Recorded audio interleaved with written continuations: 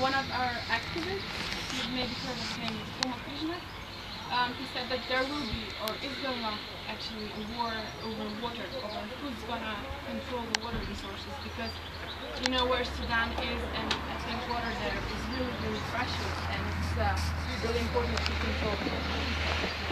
Then we have also, for example, Congo. Uh, I think it's called Congo.